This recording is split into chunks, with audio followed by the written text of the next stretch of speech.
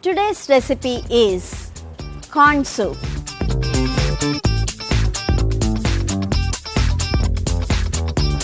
Let's begin the recipe with little bit of oil and some butter. Now the butter is melted. I'm going to add in the corn. I'm going to add in the green chilies. You can add this according to your spice level and few mint leaves. Just saute this until the raw smell go. I'm going to add in the water.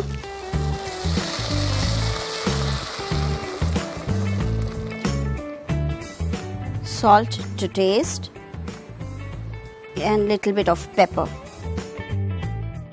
I'll close the lid and cook this.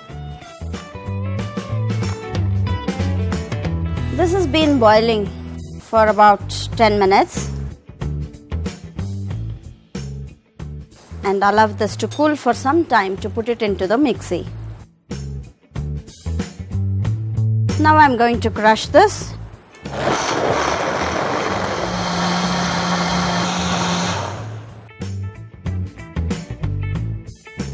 Now this is smooth enough.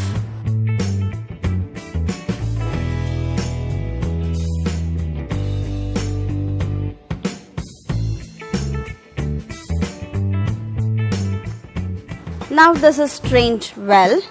I'll allow this to boil. Now this is boiling well. I'll switch off the flame and add lime.